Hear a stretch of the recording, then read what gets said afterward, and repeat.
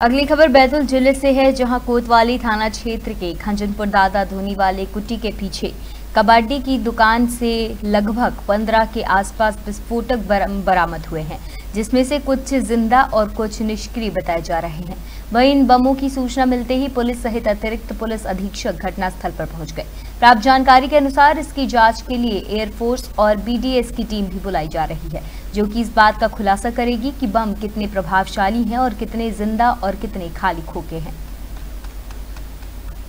ये भैया हमारे कने वो कबाड़े का जो माल लेके आते थे, बर्तन वाले, लड़के तो उनने बोरी की बोरी में लाया वो लड़का हमारा लड़का खरीदता था।